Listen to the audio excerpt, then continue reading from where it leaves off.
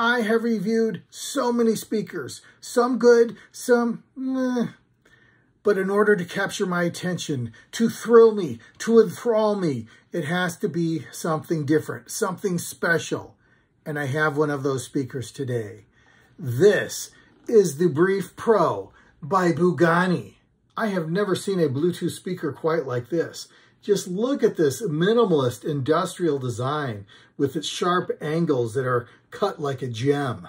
Beneath this cloth speaker grill, we have dual 4-inch subwoofers and dual 1.6-inch tweeters. And if that isn't enough, look at this massive 10-inch passive radiator.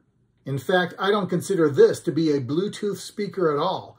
This is a stereo boombox with true right and left channels with Bluetooth capability. Since this is already stereo, you might ask yourself, does it support TWS mode, true wireless stereo? And it does. If you have a pair of identical Brief Pro speakers, you can wirelessly connect them and double the power. The controls are sparse. The triangular button controls power, TWS mode, and Bluetooth reset. The knob supports volume up and down. If you press it, it's play or pause, and if you long press it, you go to the next track.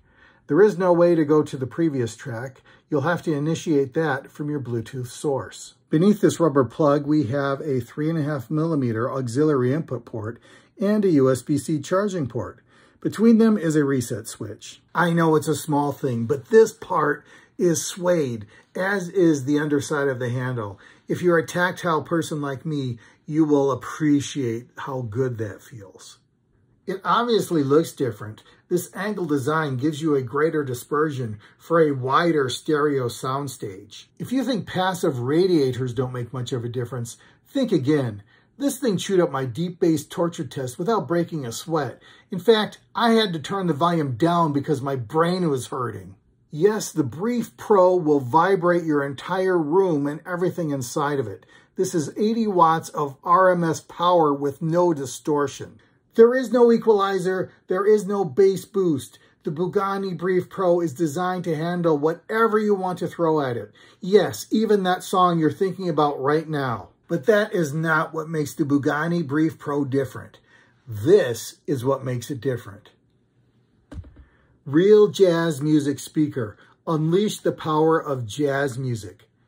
What? I don't listen to jazz music. What does it even mean that a speaker was designed for jazz? I didn't know, but I do now. At least I think I know. I found a playlist that claimed to be the best of jazz, and I started listening to it, trying to determine what it was about the songs that they had in common.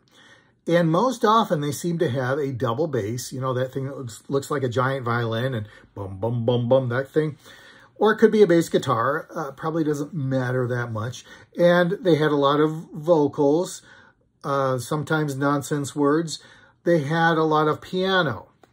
Once in a while they had the trumpet that was muted, you know, wah, wah, wah, wah, that kind of thing. If I interpret this data correctly, what I think it means is that the Brief Pro was designed to handle a lot of bass and a lot of mid-range, but not quite so much treble, kind of. And the reason why I say kind of is because you can play whatever music you want and it's going to sound great up to a point. But you're listening to it, you're listening to it. Hey, this sounds good. Turn it up. Oh, yeah, this is even better. And you're listening to it and you turn it up. Ooh, it's it's a little too loud. You turn it up. Oh, it's starting it's starting to it's starting to hurt. You turn it up. Oh, I'm getting a headache. And then you notice, hey, the treble's not quite so good as the rest of the music. And yeah, it's true. But who cares? You shouldn't be listening to it that loud anyway. That's my opinion. The speaker is the speaker is excellent. I love this speaker.